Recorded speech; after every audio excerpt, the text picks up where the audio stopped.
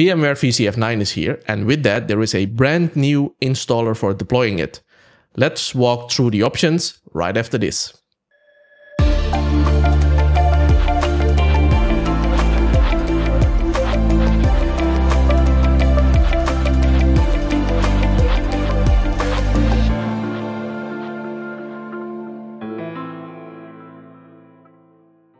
So VMware VCF9 has been released a few weeks ago. And with that new release, there is a new installer appliance. We don't have to mess anymore with spreadsheets like in VCF5. We now have a web-based graphic interface, a GUI, web-based GUI, to enter all of the information needed for deployment. That means you don't have to mess with spreadsheets and upload it to the Cloud Builder appliance. It will convert it to a JSON. That's not needed anymore you just deploy the appliance, the new Cloud Foundation installer appliance, open up your web browser, browse to the IP address, log in with account information, and just go through a wizard-driven setup process. Very nice, right? Let's get into that. Of course, the first step is start deployment of that appliance. You need to download it from the Broadcom website. If you have access to the Broadcom My Support to the support portal, you also have access to the download section in there. Now you can download the VCF SDDC Manager appliance. That's the new VMware installer appliance. We have to deploy it on our um, server because that's that will do all the heavy lifting for us, right? So let's do that. Now you have to give it a name. Let's see we need to do some YouTube testing. If I can type today, YouTube tests, that's nice. I will put it in this folder for YouTube demos. Then I will select a cluster on my ESXi machine. And now it will start the import process for this OVA. Once it has moved to the next step, you can review the details in there. And if you click on next, you have to accept the license agreement, of course you have to select storage. Let's put it somewhere on my ESXi server. You have to select the networks. I already have a VCF networks in here, uh, defined in there with VLANs, etc. And now this is a very important step because this gives you the option to enter passwords, enter network configurations, which will be used by this appliance, right? Make sure that you go through this and now when we point our browser to that IP address of that OVA we deployed, we will be presented with a login screen. This is the new login screen for the new Cloud Foundation installer.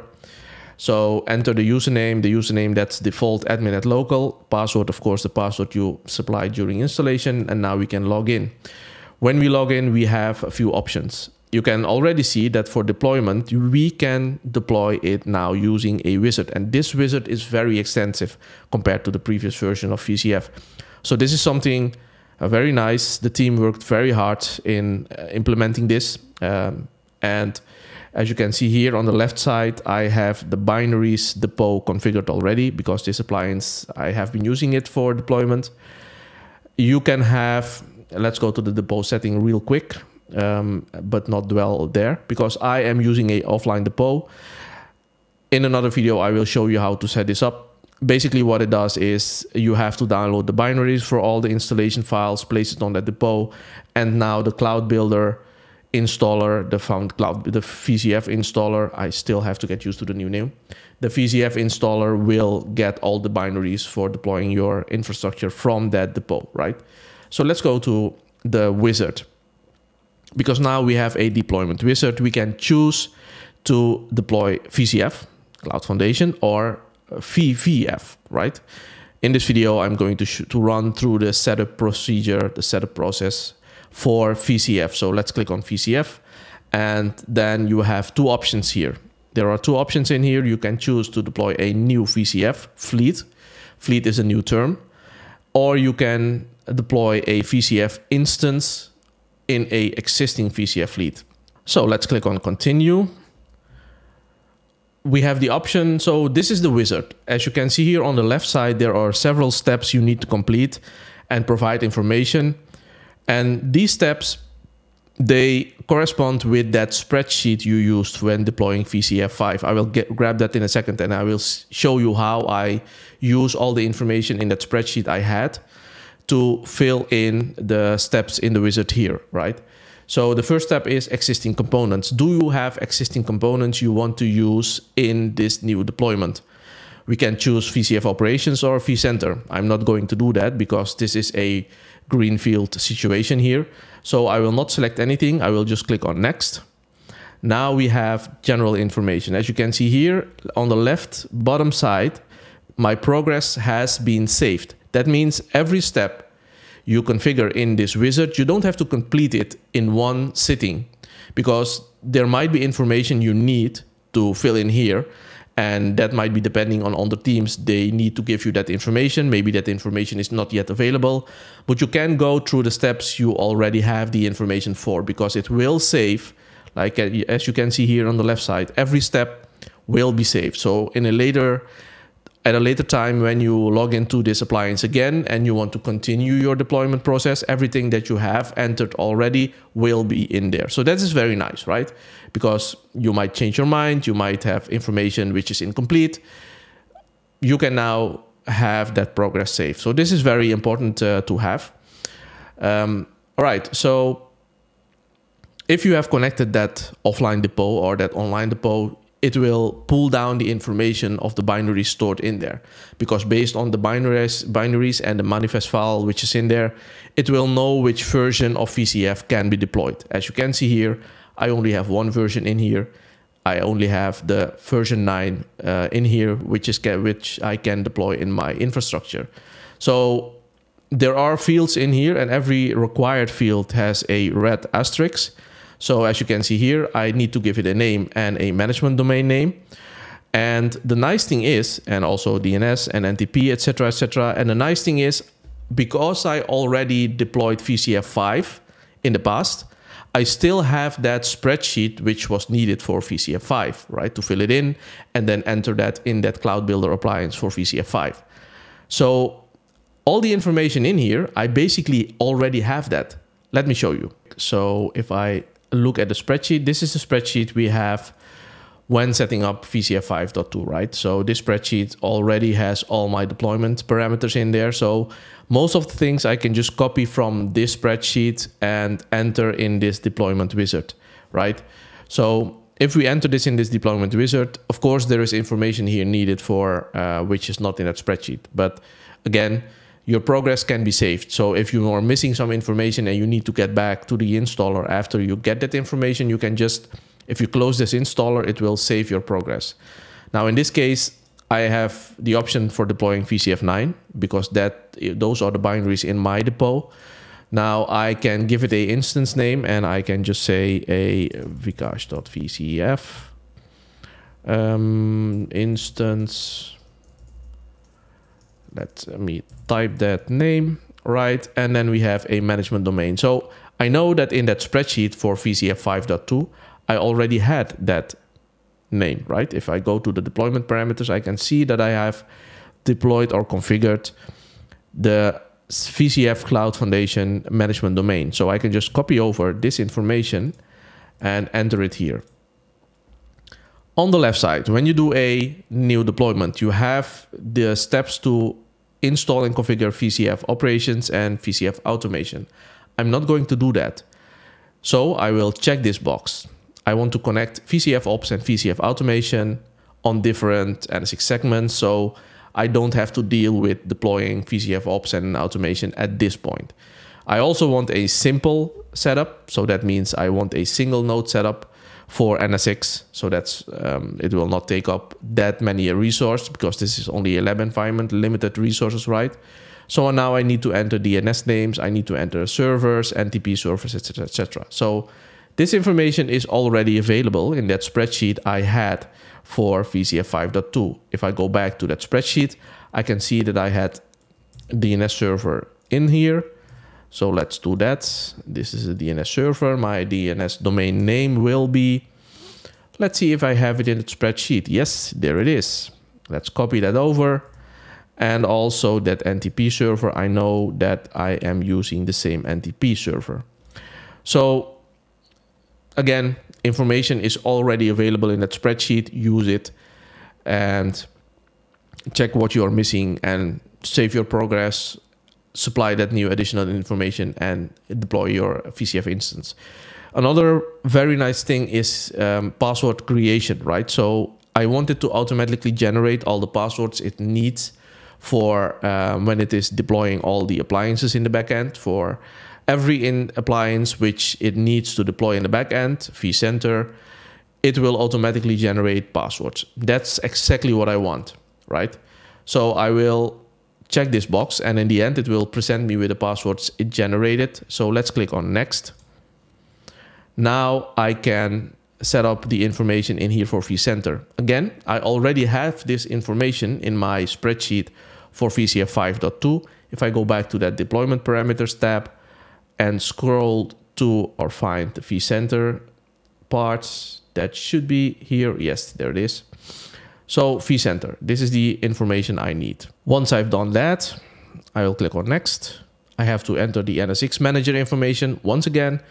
If I go back to the spreadsheet, I can see and find the NSX information is already in there.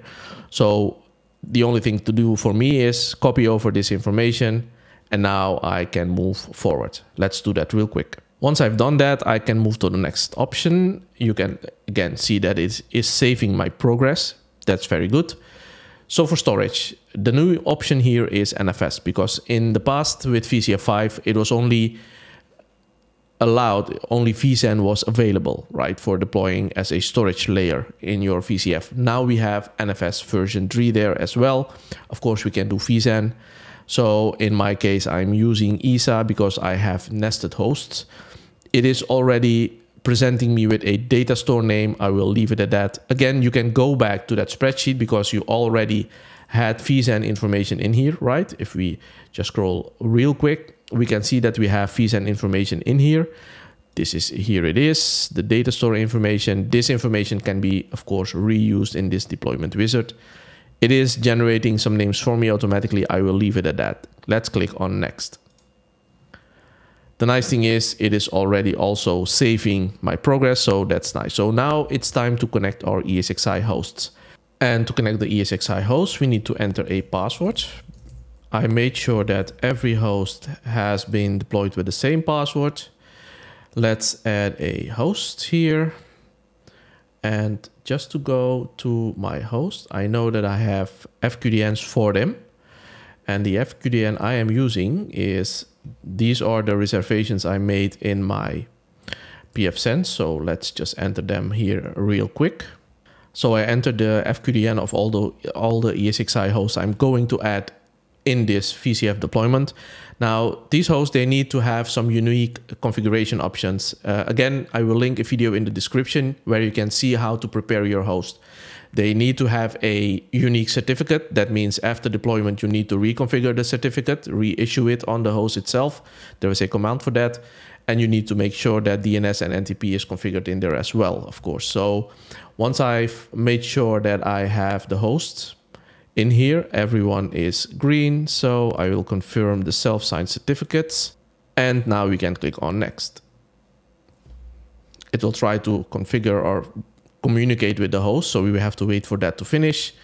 Now it has all the information to actually deploy the appliances on the ESXi host and reconfigure those ESXi hosts for a VCF workload domain, a management domain. That's the first one. So for the networks part, again, we can fall back on our spreadsheet right? Because here in the host and networks tab, you can see that all the network information is here already. So we need to just copy over the information we need and paste it on the deployment wizard, right? Let's do that real quick. So now that we've entered all the information in here, we can click on next.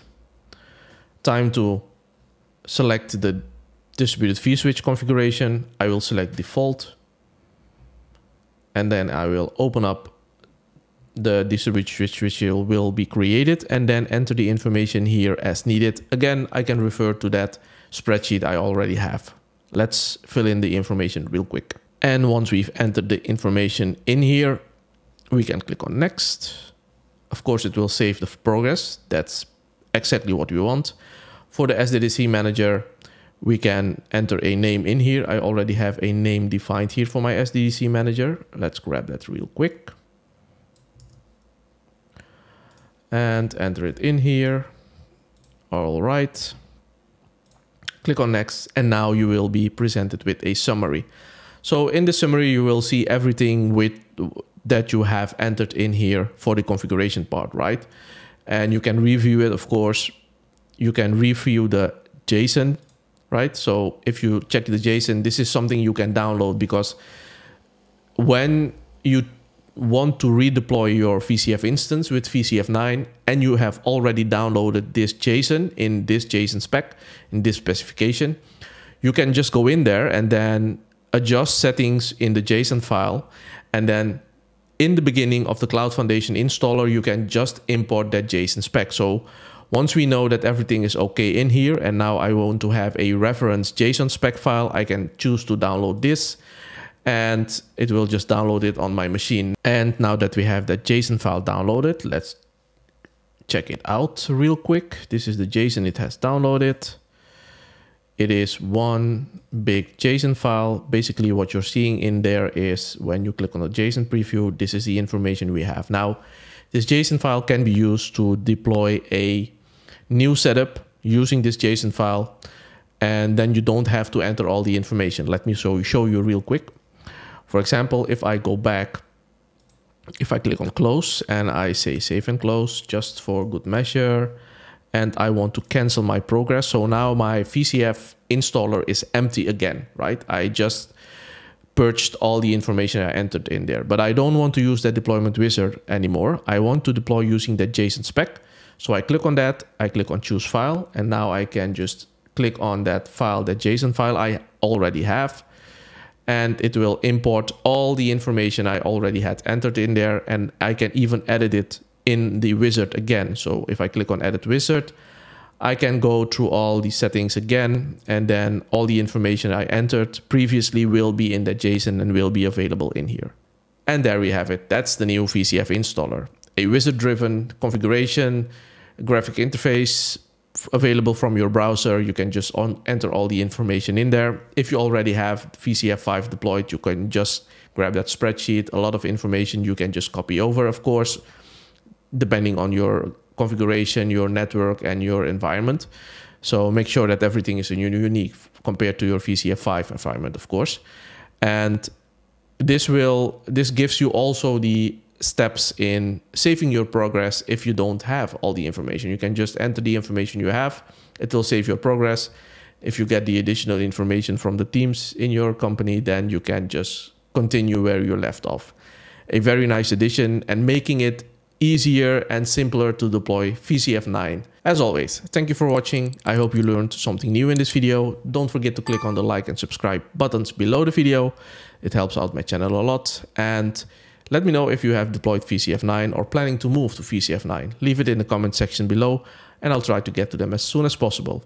For now, take care and see you in the next video. Bye.